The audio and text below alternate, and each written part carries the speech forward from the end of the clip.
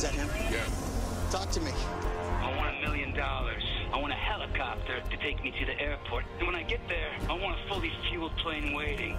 And if my demands aren't met, I eat one of the hostages.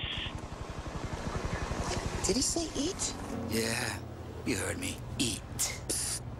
I think he's gonna eat Gary.